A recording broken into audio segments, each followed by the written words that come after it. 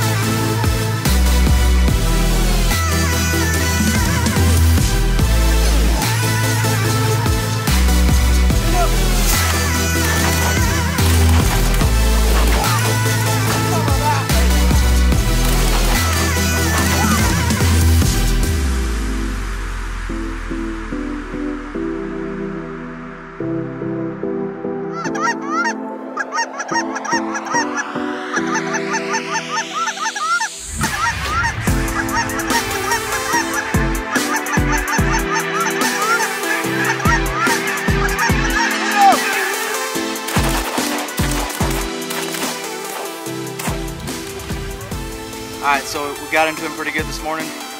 Uh, wind switched up on us a little bit, so we're gonna flip the spread, move the blinds, and uh, wait the afternoon flight. Shoot him in the face again.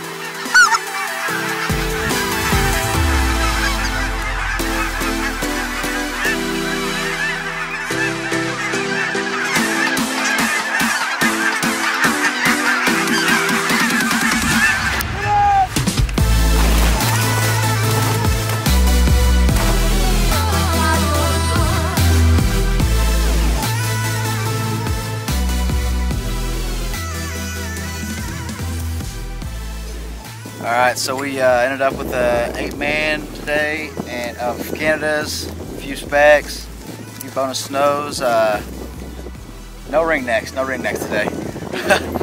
but uh, we set up on the fence line there, wind switched on us, moved the spread, and then after we did, uh, birds worked, worked really well. And uh, shot out a few volleys of those and called it a day after that. So uh, turned out to be a pretty good day, and uh, if you want to kill stuff, come hunt.